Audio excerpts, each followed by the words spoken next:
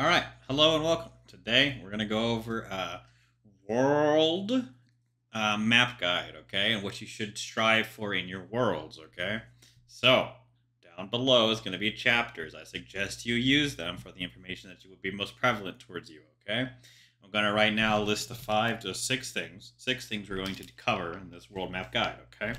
One, where are you going to set the story in this world, okay? Two, what kind of nations are around you, okay? And what kind of like races or how are they structured, okay? Number three, what are the resources and who has them, okay? Um, and you could also even add in there who are the superpowers or the or the powers in this region, okay? Number four, what is the political situation um, around this like entire world? What's going on in this specific year or years that's happening, okay? Number five, what exactly is happening in this world so you can base your example off of everything I'll talk about there. And then number six, others in case I want to add some other stuff, okay? So that's how this video structure is going to be outlined, okay? So we're about to get into it. But first, today's video sponsor is myself. Are you a dungeon master that has been frustrated by D&D mass combat rules? Well, worry no longer. I have a solution for you DMs. The squad combat module lets you run mass combat quickly with massive customization options. Do you like additional D&D supplements that improve the immersion and realism of your games? Want maps for your D&D adventures? Reduce your prep time, improve your games, and become a Patreon member today by clicking the link below in the description to join. And I would like to thank my Patreons because they make all of this stuff possible. Uh, click in the description if you want to go and try and support me, okay? Otherwise, uh, we're going to cover this whole map, okay? And just a little tidbit, if you go to my uh, channel and you click on this little Inkarnate button right here, it will pull up some of these maps that you can edit if you have an Inkarnate account, okay? This is all dependent on the Inkarnate account. If you don't, and you just want the maps, you can go to my Patreon, and I will have the maps available for you to download, okay? They'll be in this big post right here, and they'll be in the maps zips, all right? So let's get on with it, all right? So, this world map, all right. So, who, where are you going to set this story, okay? So, this is important to remember you as a DM or GM, right, um, are going to set this story somewhere, right, in this world, okay? This is quote unquote a region, as you can see, it's Greece, but this is the world for my players. This is as big as the entire world will ever be for them, okay? Um, this is the known world that they know, okay? Nothing else past this. That's what a world map should be, okay? Um, we'll get into other maps and region maps later, but this is the world map for this, okay? So, where are you going to set this, okay? So, in this example, I set it in Athens, okay? As the Athenia right here is this big uh, thing right here, that big capital, okay? That's where it was set, right? And then, basically, this whole region down here, right? Marathon, Athena, Solus, Torkis, this is a region I actually designed, and I will show you in a future upcoming video, okay? Uh, this region was designed, but this is the whole world, okay? So, you as the DM, to be like, hey, where am I going to set this world? Okay, you need to be like, hey, what region of this map am I going to put them in? Okay, then you need to be like, hey, what are the politics of this region, right?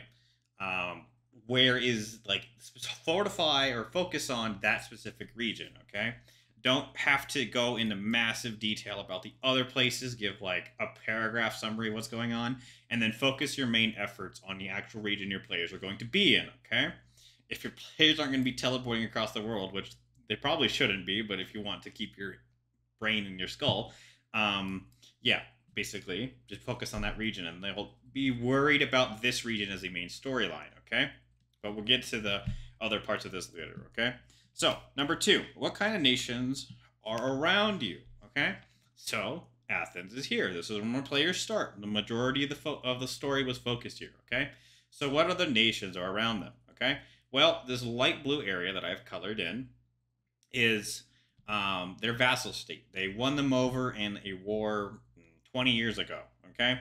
And they pay tribute and uh, they defend themselves, okay? Green is a vassal state Thebes.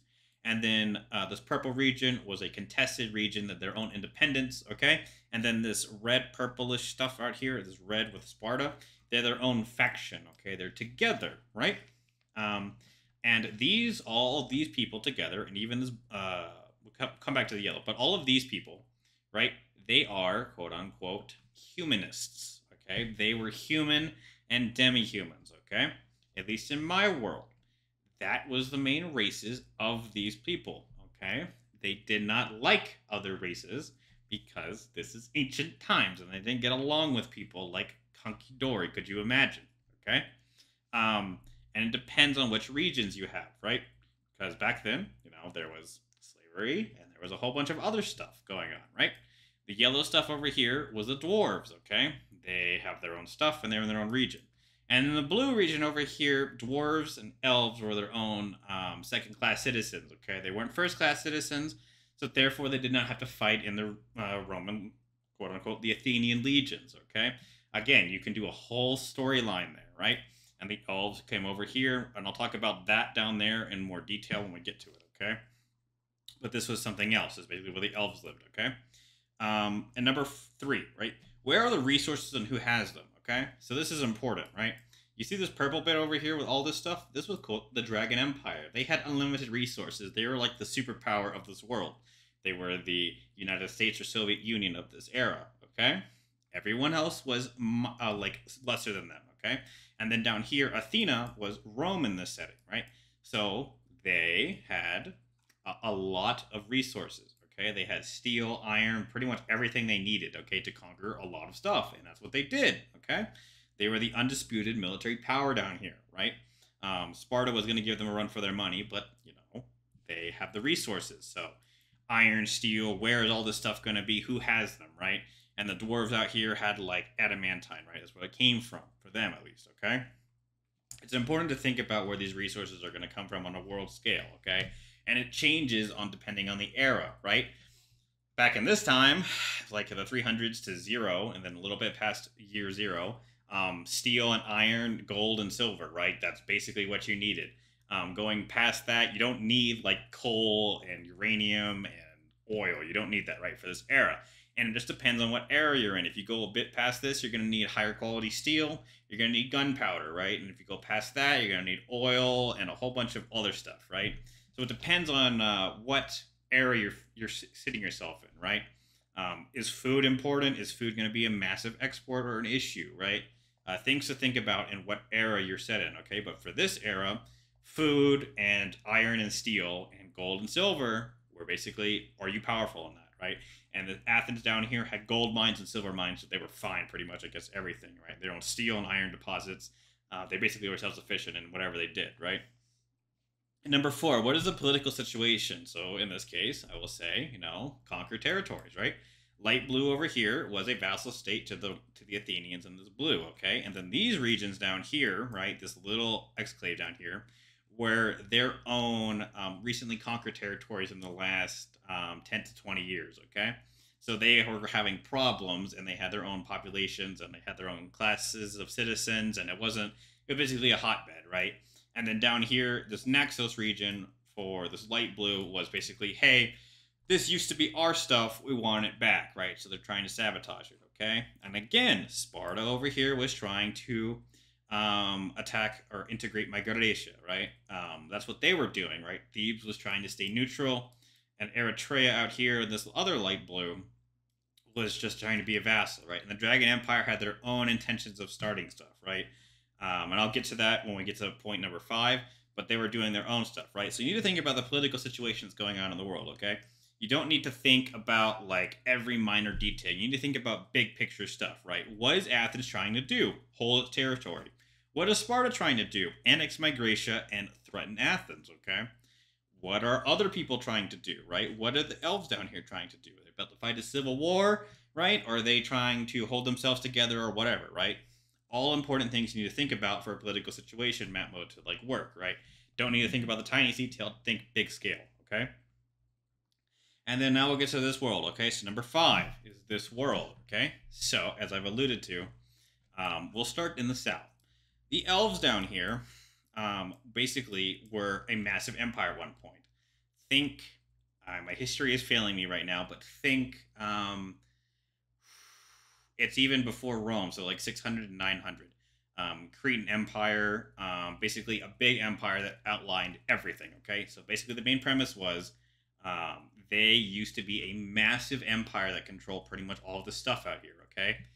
Massive, massive earthquake happened and volcano and drove and covered everything in ash, right? And killed a majority of the population and drove all of them back to their uh, homeland, right? Um, big, basically, what if happened, right? Um, so they have been a dormant society kind of to themselves. They haven't, you know, gone anywhere because they can't reproduce that fast, right? Um, so they were having a little minor civil war, high elves versus wood elves, right? That was going to kick off during this era, right? Between Kronos and Gorthy, right? And the players would come over from Athens as a mercenary group to fight for one of them, right? And then eventually, once the players got enough connections, they would be able to call on the Athenian military to swing it in one way or another to benefit Athens, right? Um, and the players were again going to work for Athens eventually, right?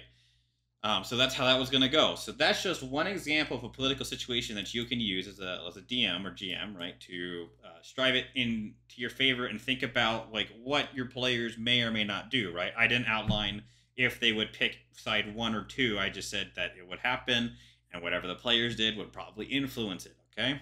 Again, another thing would be this Dragon Empire. Okay, this purple stuff over here, right? Um, in modern day Turkey is right? So they wanted to, you know, break and destabilize everything happening over here. Okay, think big scale. They wanted to just destabilize everything over here. So what did they do? They uh, launched a little assault on um, an Athenian territory over here, um, and basically I'll cover this more in my region video. But um, they launched an assault there uh, to strive and make orcs and goblins rise up and other creatures right rise up and hurt the Athenian population there and make it like a big deal, right, to destabilize Athens right? They wanted Sparta to attack Magratia, which is what they were going to do, right? Again, subtly influencing all of the stuff to make it in their favor, right? They're trying to get Naxos to declare war on Athens to reclaim their territory, right? Um, they were trying to destabilize the vassal state over here, right? And they were trying to get Thebes to join Sparta to attack Athens, okay? And Epidaurus over here to join Sparta and attack Athens, okay? Why would they all do this? Very simple, right? Um, the Dragon Empire wants to expand its territory. They want to conquer these people in the green, right? The roads, basically roads, right? They want to conquer them. Okay, how do they accomplish that without everyone, you know, coming to kick their ass like they would if the Greeks united, right? Very simple. You destabilize them all and you make them all fight each other, okay? And this was all happening in the background with me as the DM, you know, uh, making things happen, right? And letting the players explore the options if they wanted to, right? And they did unintentionally or intentionally, right? And that's just basically big scale macro of what was going to happen in the world. Okay. Again, the players can influence it and, and, determine and change it, and they did. Okay. And so that was the main Dragon Empire's goal was to annex this stuff and have all these people fight each other. So while they did it, so they couldn't stand up to them, right? Athens was just trying to hold on to its stuff with a very powerful military and a quote unquote liberal government. Okay, for this time, we will say liberal government in the most like quote unquote possible, okay? Because we're talking senators elected by rich people, right? We're not talking a liberal democracy, right? We're only talking about the first classes of citizens being able to vote, no rights for the second class citizens, right? Um, that's what we're talking about here. And I'll get into that a little bit actually. So, uh, one of my players wanted to play a political game, right? And I was like, okay. So I designed the whole political system around how Rome did, it, right? With changes for players, right? And skipping towards basically the end of the campaign, basically he was elected a consul of Rome, uh, and issued his dictator powers, and basically gave all second class citizens citizenship in, or a way to gain citizenship um, in this empire, right? Um, to become first class citizens either by fighting in the legions or by you know being a resident for X amount of years, okay? And they had a vassal state of other races and stuff, right? But that was all what the player wanted to do, right? And that's how you can influence these global politics, right? And they were also able to counter the Dragon Empire on a mission that I'll talk about in a little bit, okay? But that's just basically what was going on with Athens, right? And then as you see, as you're going to see, this all these other countries are going to have a little bit less detail, right? Because I didn't need that much detail. I just needed little bits of what was going on, and that was generally it, okay? So we'll start with Eritrea, Okay, Eritrea was basically just a vassal state. They paid money to Rome, to Athens. Okay, that was it. That was as far as I needed to go there, and they had their own little tiny military that would help out, and that was it. That's all I needed to write for them. Okay, Thebes was the same way. Thebes was a country or a nation, city state actually, but basically they were independent. One of my players came from Thebes, in the fighting arenas there, and came to Athens, right? So they were second class citizens. They were a Leonin, okay? Um, and that's basically all the purpose they served, okay? Epidaurus and Sparta, okay? Eventually, these things basically just merged. Corinthos attacked Migratia, okay, on the border with Athens, right?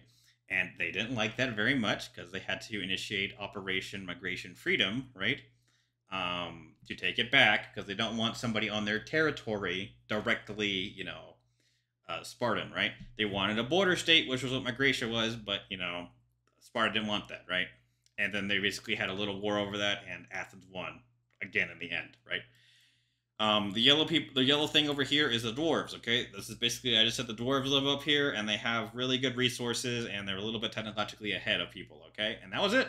That's all I needed for them, right? Um, and that's it, right?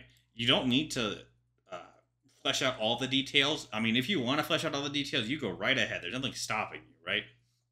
It's up to you and what you want to do there. I just suggest that you give little bits of information about where things are on the map, world, and see how they're interacting with each other. Okay, so we'll go back to this example, right? Uh, my players basically fought um, as a mercenary group for a bit. Then they were applied by the Senate to go do missions, and they were doing them all in the region of Athens. Okay, um, and basically that's almost 95% of the story took place there. Okay, now I want to use this world map to show how this story ends. Basically, okay, so they fight all the stuff in the region over here. And then for the world, my player was a satyr. He said that satyrs come from Samolkathai up here. Okay, that's what he wanted. So I said, okay, cool. The Dragon Empire was going to go take them out. Okay, because they had a quote unquote super weapon um, that kept them safe. Right, they had a little fog cloud around them, and it kept people from you know attacking them and taking them over. Okay, but the Dragon Empire found a way around that, and they wanted the island and the technologies stored there. Okay, so the Athenians uh, knowing this, right? Because they sent uh, messengers over here being like, hey, this is going to happen. Also, Athens realized there was technology there, so they wanted to, quote unquote, save the people, but, you know, get the technology. So they sent a fleet out with the players on it, right? And in charge of it. Well, some of it, right? And basically, what happened was the players come all the way from Athens all the way over here, right? And they basically go on the Odyssey, right? They get shipwrecked, a whole bunch of, you know, encounters happen, the Krakens and stuff. Anyway, they make their way there with basically a few of their crew, right? They get there, and the majority of the fleet's there, but the Dragon Empire is attacking. Long story short, one of the players sacrifices himself, gives the players a super weapon, and they get a flying ship, okay? The only one in existence. They then take this flying ship and they need to take out the Dragon Empire before they, you know, destroy everything around here, okay? Because that's what the plan was to take over everything eventually. So how are they going to do that, right? And the reason they were so scared was because 20 dragons destroyed this entire island. And Athens might be powerful, but 20 dragons is 20 dragons. So they took that little ship of theirs and they were going to go to Pergamon, okay? They were going to go destroy the dragon, you know, people's capital, okay? So they take this flying ship with gunpowder and cannons and everything and, you know, make their way there and have to fight through dragons, honor guard, everything you can possibly imagine, okay? basically how this story ends is my players set a collision course um, on target with the you know core of um, Dragon Empire. Think Deus Ex Machina. Think massive explosion is gonna happen. Okay, if they if this ship collides with it. Okay, and my players set a direct collision course on it. Right. Um, and you know they said, okay, well if we're gonna lose this ship and it has a, basically a nuclear bomb on it, um, can we save any of the tech? So my players, you know, got uh, they were working with some other NPCs. NPCs said, "Yeah, we'll we'll teleport as soon as we're about to hit." Players apparently grab the artillery cannons and teleport away as the ship slams in and blows a nuclear hole and destroys a lot, pretty much devastates the Dragon Empire in one go. Okay, and they teleport. Funny story: they teleport over to Marathon because they're off target. Uh, that's how teleporting works. Okay, they didn't have a thing, but they're off target. But they weren't off target that badly, right? So that's how that story ended, right? And that was all thanks to this world, right? Um, you know where the islands are, you know the political situation and all of that stuff, right? Um, so we'll just talk about some other stuff for number six, right? Number six is like how is all this stuff structured, right? As you can see, um, the players, um, if they wanted to, you know, travel this world and go over here, right? Because that was the original plan. as me as a DM was to have them, you know, sail the seven seas with like ships and you know gather stuff and build their own ships and fleet, right, and be pirates or whatever, and travel out through all these islands, right. And to do that, they need ships, right, because of the way the world is designed, right. There's all these islands you need to go to to get there, right. So they would start out and go through them, right. And then you also need to think about like where do you want your primary plot points to be? Do you want them to be in a region? Do you want them to be in this in this quote unquote this world map? You're like, hey, this in these areas specifically in the world my players will go to and i will set up massive storylines okay for example athens region okay and then this uh, island down here crete right was going to be a major plot point for my campaign right so i would build this area out with an additional region map and you know go from there right so just think about where you want the campaign to head generally right you don't have to finish it all entirely right you could set the world up in the region of Athens and then work on this later. But be like, I want to do X, Y, Z, and end at uh, like I don't know W or ZZ, end there, right? Um, as an example, this region of Athens was was Act One. Act Two was going to be on Corinthos, or uh, sorry, not Corinthos, um, Crete, right? Act Two is going to be down here, and Act Three was going to be in the Dragon Empire and Somokotthai up here, right? And that's basically what happened besides a part of Act Two, because Act Two, it, anyway, that's the main structure of how the world thing should build, right? And you also want to think about like big rivers, okay? How big rivers are going to work in lakes, right? There are some rivers on this map, right? And there, this map is very detailed. There's a link in the description to it. I suggest you go check it out, right? Um, and these rivers, basically, they're going to be the lifeblood of pretty much everything that anyone does, right? Um, just think about where rivers are, because rivers and lakes are massively world impacting, okay? they are world impacting today, but especially back in the days, like even back before 2000, um, they were massively important to the economy, to people's living, and popular everything. Okay, you need to think about where your rivers are and where your mountain ranges are. Right, mountain ranges are going to defend Sparta, as you can see. It's perfectly defended from this side. This side, they have to either land at the back, which is a bad idea, or they have to come through a narrow pass. Right, this is why Sparta was really hard to defend, and there was no walls around Sparta because the Spartans could go meet a threat in any direction because of where the geography was for world wise, okay? And so I recommend, you know, big outstrokes of where your things are going to be in the world, right? Be like mountain ranges out here, as you can see, right? Impassable terrain, lakes, um, rivers out here, right? Trees, where the forests are to be, right? Is there a swamp down here? This swamp will come back to you, We'll come back to in the region map uh, video. Um, but that was important, right? Because this swamp was the swamp, right? And it became important for my players, right? just think about where you want big things on the map, and that's the that's where I can tell you to go from. Okay, um, and that's basically number six, and that's basically this video. Again, uh, leave any questions you have down below. Otherwise, there is a video on your screen. It'll take you to ten racial feats, and you can check out my Patreon up there too. Um, otherwise, you people have a nice day.